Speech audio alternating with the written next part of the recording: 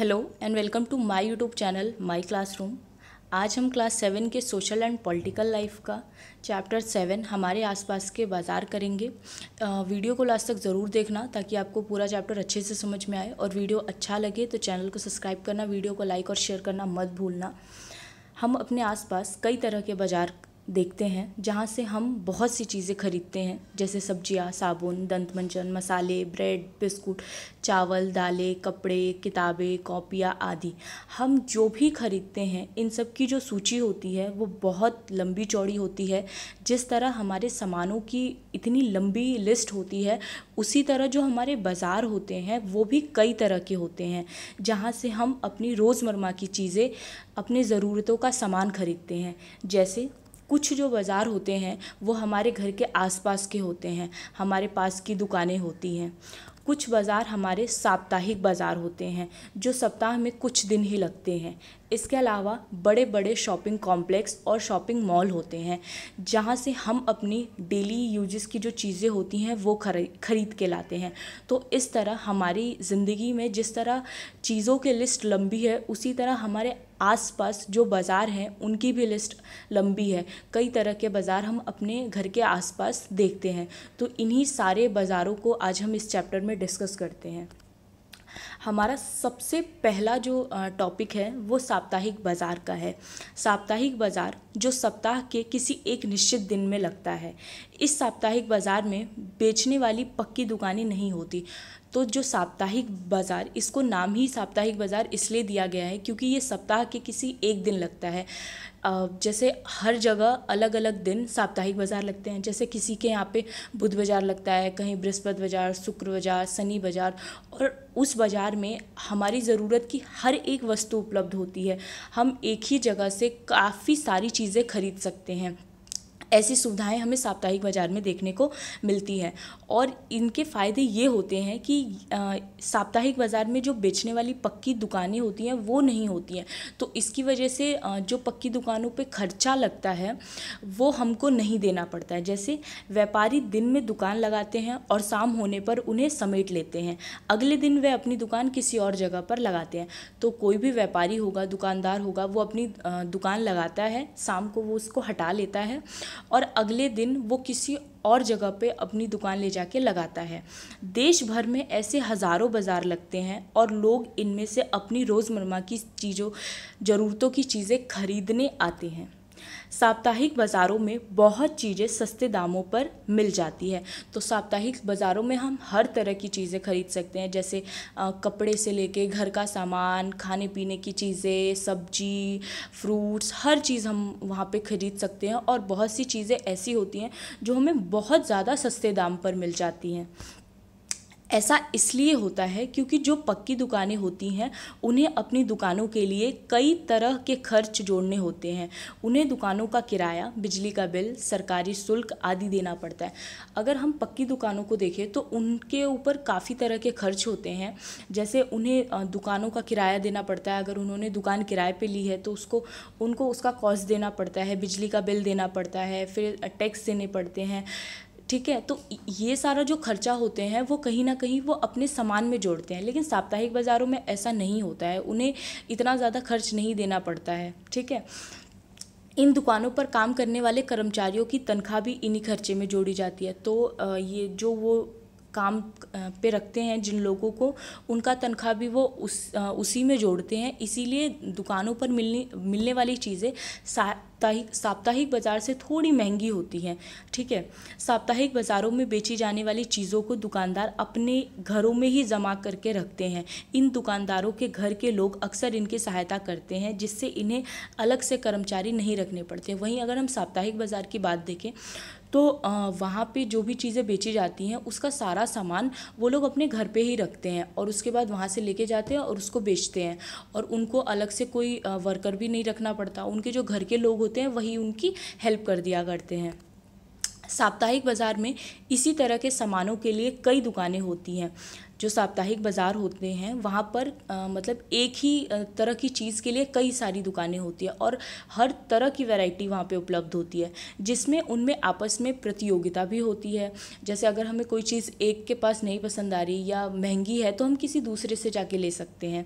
यदि एक दुकानदार किसी वस्तु के लिए अधिक कीमत माँगता है तो लोगों के पास यह विकल्प होता है कि वह अगली दुकान पर वही सामान देख लें जहाँ संभव है वही वस्तु कम कीमत पर मिल जाए। तो बहुत सारी दुकानें होती हैं कोई एक चीज़ लेना है हमें जैसे बर्तन ही लेने हैं तो अगर किसी दुकान कोई दुकानदार है साप्ताहिक बाज़ार का वो हमें सही रेट पे नहीं दे रहा तो हम दूसरी दुकान पे जा सकते हैं फिर वो भी नहीं दे रहे तो, तो किसी तीसरी पे जिस पे भी मतलब सही अमाउंट में हमें मिल जाए हम वहाँ से ख़रीद सकते हैं। तो ऐसी कई तरह की सुविधाएँ होती हैं वो हमारे लिए उपलब्ध होती हैं साप्ताहिक बाज़ार में। दिल्ली में ऐसी कई तरह के साप्ताहिक बाज़ार देखने को मिलते हैं। ऐसी स्थितियों में ख़रीदारों के पास यह अवसर भी होता है कि वह मोल तोल कम करवा सके मतलब मोल तोल करके बार्गेनिंग करके हम चीज़ों के दाम कम करवा सके। कभी कभी जो दुकानदार होते हैं, वो बहुत ज़्यादा पैसे बोल देते हैं, बोल देते हैं। तब हमारे पास ऑप्शन होता है कि हम उसके रेट को कम करवा के सामान को ले सकें। ठीक है? साप्ताहिक बाज़ारों का एक फ़ायदा यह भी होता है कि ज़रूरत का सभी सामान एक ही स्थान पर मिल जाता है। सब्ज़ियाँ, कपड़ों किराना सामान से लेकर बर्तन तक सभी चीज़ें यहाँ उपलब्ध होती है। अलग अलग तरह के सामान के लिए अलग अलग क्षेत्रों में जाने की भी ज़रूर की ज़रूरत भी नहीं होती है। लोग अक्सर उन बाज़ारों में जाना पसंद करते हैं जहाँ सामान के विविध विकल्प उपलब्ध होते हैं। तो साप्ताहिक बाज़ार का एक जो सबसे बड़ा फ़ायदा दिखता है वो ये है कि वहाँ पर हमें हर तरह की चीज़ें मिल जाती हैं एक ही जगह पर। हमें अलग अलग जगह पर जाने की ज़रूरत नहीं, एक ही बार जाओ और चीज़ें हम ख़रीद के ला सकते हैं, ठीक है? तो लोग ऐसी जगह जाना भी पसंद करते हैं। तो साप्ताहिक बाज़ार के हमने जैसे बहुत से फ़ायदे देख लिए। एक तो वहाँ पे कम कीमत पे सामान मिल जाता है, हम मोल तोल कर सकते हैं। उसके अलावा हमें सारा सामान एक ही जगह पे मिल जाता है, ठीक है? और साप्ताहिक बाज़ार ये नाम इसलिए पड़ा क्योंकि ये सप्ताह में एक बार लगती है। फिर आता है हमारे मोहल्ले की दुकानें। मोहल्ले की दुकानें, यानी जो हम जहाँ रहते हैं, उसके आसपास भी कुछ ना कुछ दुकानें होती हैं, छोटी मोटी। तो वहाँ पे हम काफ़ी तरह की चीज़ें खरीद सकते हैं। तो हमारे मोहल्ले में कुछ दुकानें होती हैं, जो कई तरह की सेवाएँ और सामान उपलब्ध करवाती हैं। हम पास की डेयरी से दूध किराना व्यापारी से मसाले और अन्य खाद्य पदार्थ तथा स्टेशनरी के व्यापारी से कागज़, कलम या फिर दवाइयों की दुकानों से दवाई भी खरीद सकते हैं। तो हमारे आसपास कई तरह की दुकानें होती हैं, जहाँ से हम अपनी चीज़ें ख़रीद सकते हैं, जैसे मेडिकल स्टोर होता है इसके अलावा स्टेशनरी की शॉप होती है फिर आ, मतलब दूध के लिए डेयरी होती है और छोटे मोटे किराना स्टोर्स भी होते हैं जहाँ से हम अपने रोज़ डेली की जो चीज़ें होती हैं इस्तेमाल आने वाली हम वो भी ख़रीद सकते हैं। इस तरह की दुकान अक्सर पक्की और स्थायी होती है, जबकि सड़क किनारे फुटपाथ, सब्जियों के कुछ छोटे दुकानदार, फल विक्रेता और कुछ गाड़ियाँ, मैकेनिक आदि भी दिखाई देते हैं। तो ये जो दुकानें होती हैं, वो पक्की होती हैं, स्थायी होती हैं, हम कभी भी अपनी ज़रूरत का सामान जाके वहाँ से ले सकते हैं। इसके अलावा आसपास जो हमारे कुछ ऐसे दुकानदार भी होते हैं, जो फल वगैरह बेचते हैं, सब्ज़ी वगैरह बेचते हैं, अपनी ठेली वगैरह लगा के, कुछ गाड़ियों के मैकेनिक भी होते हैं, जिनका यही काम होता है और बहुत से ऐसे हेलमेट वगैरह बेचने वाले भी लोग होते हैं। कई तरह के छोटे छोटे मतलब दुकान लगा के हमारे घर के आसपास लोग होते हैं। पड़ोस की दुकान सही अर्थों में बहुत उपयोगी होती है। हमारे घरों के करीब तो वह होती ही है और हम सप्ताह में किसी भी दिन और किसी भी समय इन दुकानों पर जा सकते हैं। तो ये हमारे लिए बड़ी फ़ायदेमंद वाली दुकान होती है क्योंकि हम किसी भी टाइम पे जा सकते हैं, किसी भी दिन वीक के किसी भी दिन जा सकते हैं और वहाँ से हम अपने ज़रूरत का सामान लेके आ सकते हैं। और सबसे अच्छी बात ये होती है कि ये हमारे घरों के बहुत ज़्यादा पास होती है तो हमें ज़्यादा दूर चल के नहीं जाना पड़ता। दुकानदार और एक दूसरे से परिचित भी हो जाते हैं। हैं और दुकानदार ग्राहकों के लिए उधार भी देने को तैयार होते हैं। यानी कि समय का भुगतान, सामान का भुगतान बाद में भी करने की सुविधा होती है। तो क्या होता है कि जो काफ़ी टाइम से जब हम दुकानदार से सामान ले रहे होते हैं, वो स्थायी दुकान है बार बार हम उसी जगह से सामान ले रहे हैं तो दुकानदार और जो ग्राहक होता है, दोनों एक दूसरे से परिचित हो जाते हैं। वो जानते हैं कि ये यहाँ रहते हैं या मतलब हमारे पास ये सामान लेने आएँगे।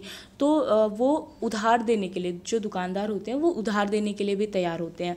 और सामान का जो भुगतान होता है, वो हम बाद में भी कर सकते हैं, ठीक है? कई जगहों पे वही खाते चलते हैं कि रिकॉर्ड रख लिया जाता है कि इस डेट पे इतना सामान लिया, इस डेट पे इतना सामान लिया, और मंथ में एक बार जाके लोग उसको चुका देते हैं, ठीक है?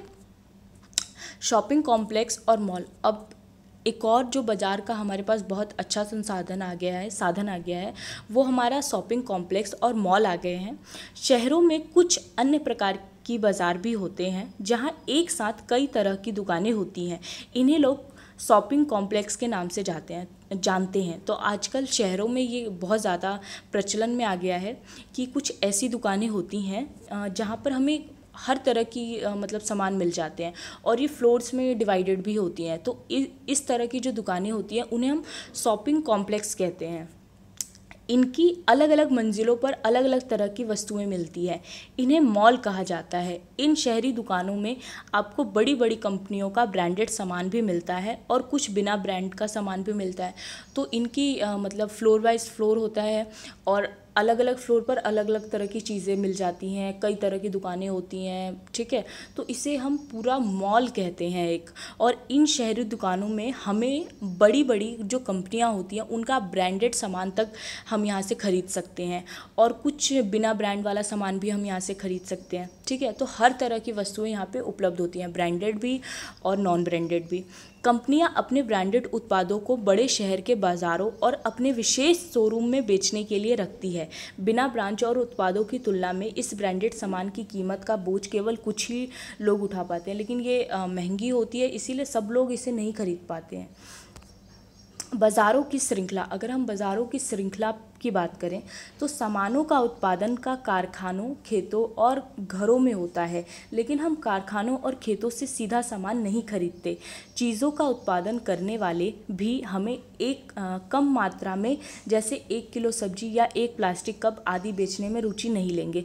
तो जो भी हम सामान खरीदते हैं चाहे हम साप्ताहिक बाज़ार से खरीदें या आ, मतलब शॉपिंग कॉम्प्लेक्स से खरीदें या फिर हम अपने पास की जो दुकान होती है वहाँ से खरीदें कहीं से भी खरीदें तो ये सारा जो सामान होता है, वो उन्हीं दुकानों पे तो नहीं बनता होगा, वो कारखानों में बनता होगा, ठीक है? जैसे प्लास्टिक वगैरह की चीज़ें हो गई या कपड़े की चीज़ें हो गई तो वो कारखानों में बना होगा, हमारी सब्ज़ियाँ हो गई तो वो खेतों से आई होंगी, या फिर कुछ सामान ऐसे होते हैं जो घरों में भी बनते हैं। ठीक है?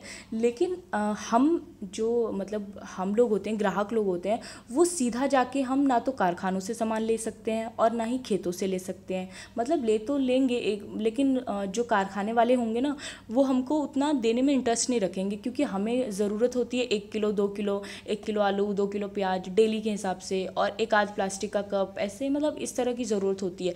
तो वो लोग हमें बेचने में बिल्कुल इंटरेस्टेड नहीं होंगे क्योंकि कारखाने के जो मतलब व्यापारी होते हैं, वो ज़्यादा से ज़्यादा चीज़ें बेचने की कोशिश करते हैं, ठीक है? तो वह लोग जो वस्तु के उत्पादन और वस्तु के उपभोक्ता के बीच में होते हैं, व्यापारी कहा जाता है।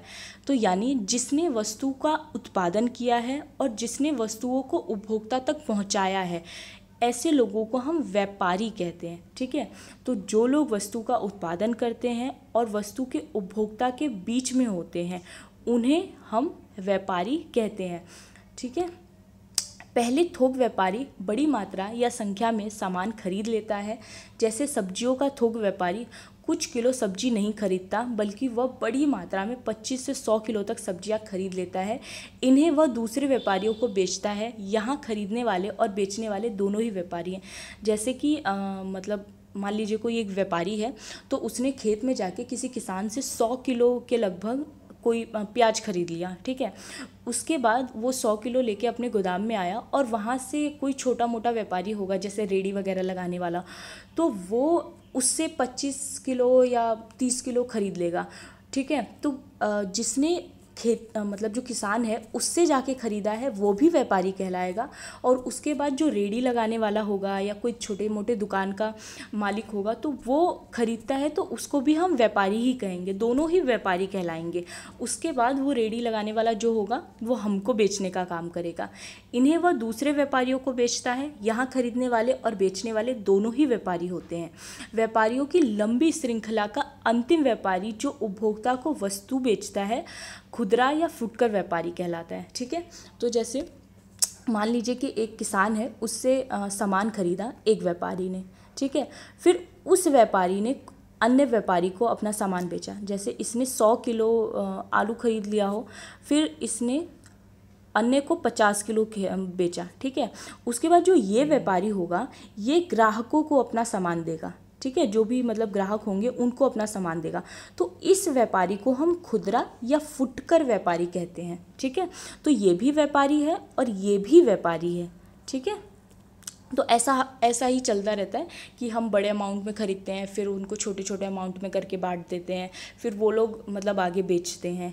ये, यह वही दुकानदार होता है जो आपको पड़ोस की साप्ताहिक बाज़ार शॉपिंग कॉम्प्लेक्स में सामान बेचते मिलता है। हर शहर में थोक बाज़ार का एक क्षेत्र होता है। यहाँ वस्तुएँ पहले पहुँचती है और यहीं से वे अन्य व्यापारियों तक पहुँचती है। तो जैसे सब्जियों वगैरह की हम बात करें तो सब्ज़ियाँ मतलब मंडी वगैरह में पहुँचती हैं। फिर वहाँ से जो थोक व्यापारी वगैरह होते हैं वो खरीद खरीद के लेके जाते हैं। सड़क किनारे की दुकान का छोटा व्यापारी बड़ी संख्या में प्लास्टिक का सामान शहर के थोक व्यापारी से खरीदता है। ठीक है? हो सकता है कि वह बड़ा व्यापारी अपने से भी बड़े थोक व्यापारी से स्वयं सामान खरीदता हो। तो जैसे अगर सड़क किनारे जो दुकान लगाने वाला छोटा व्यापारी है, वो बड़ी संख्या में प्लास्टिक का सामान एक थोक व्यापारी से खरीदेगा। और ये भी हो सकता है कि उस थोक व्यापारी ने अपने से किसी बड़े व्यापारी से वो सामान खरीदा हो, ठीक है? तो ये प्रक्रिया इसे श्रृंखला कहते हैं, मार्केट चेन कहते हैं। तो ये चीज़ चलती रहती है।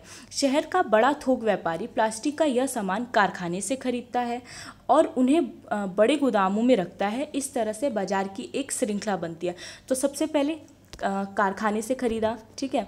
फिर कारखाने से व्यापार कारखाने ने, कारखाने से व्यापारी ने सामान ख़रीदा, फिर उसने अपने से छोटे व्यापारियों को दिया, फिर उसने अपने से छोटे व्यापारियों को दिया होगा, उसके बाद जो मतलब निचले स्तर के व्यापारी आए, उन लोगों ने हम तक चीज़ पहुंचाई, क्योंकि ऊपर के जो व्यापारी होते हैं, वो थोड़ी बहुत चीज़ें बेचने में मतलब इंटरेस्ट नहीं रखते हैं।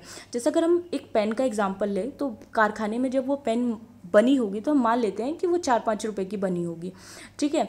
उसके बाद जब वो अगले व्यापारी को बेचते हैं मतलब कारखाने वाले जब व्यापारी लोगों को बेचते हैं तो वो उसको छः या सात रुपये में बेचेंगे। उसके बाद वो जब अगले व्यापारी को बेचेगा तो वो आठ रुपये में ऐसे बेचेगा। फिर जब वो दुकान तक आती है, तब वो दस रुपये की बन जाती है। तो उसमें सारे जो टैक्स होते हैं, जो प्राइस होता है, व्यापारी का, कंपनी का, सब कुछ उसमें जुड़ चुका होता है। ठीक है? तो इस तरह से करके एक मार्केट चेन बनती है और हम तक कोई सामान पहुँचता है। ठीक है? हर जगह बाज़ार।